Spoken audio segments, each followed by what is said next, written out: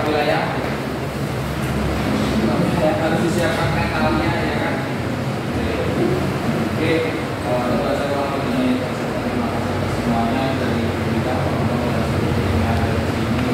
Semoga kita lebih baik lagi dan